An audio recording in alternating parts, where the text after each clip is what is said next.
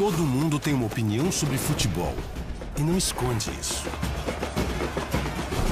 Alguns vão dizer que você nunca decolou em sua carreira, que está na hora de pendurar chuteiras, que você é apenas uma segunda opção.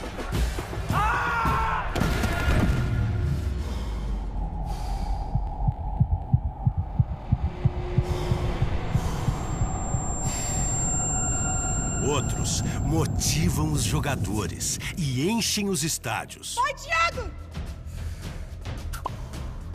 Vamos, Julián!